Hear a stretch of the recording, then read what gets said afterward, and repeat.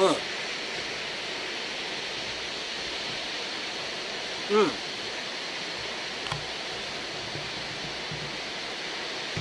うん。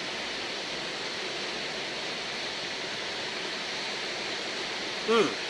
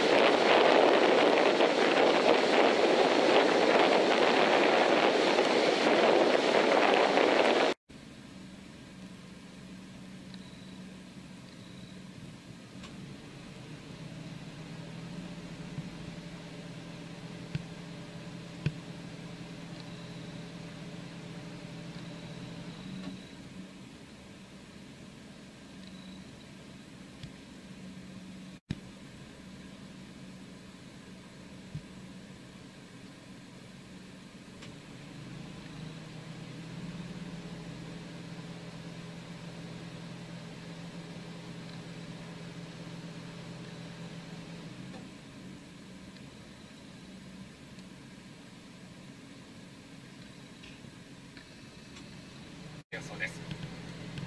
この後も関東地方は雨が降ったりやんだりのところが多い見込みです。特に夜になりますと各地雨足が強まり局地的には激しい雨の降る恐れがあります。さらにこの後見ていきますと明日の朝にかけては広い範囲で雨となる見込みです。ところどころで雨雲が発達し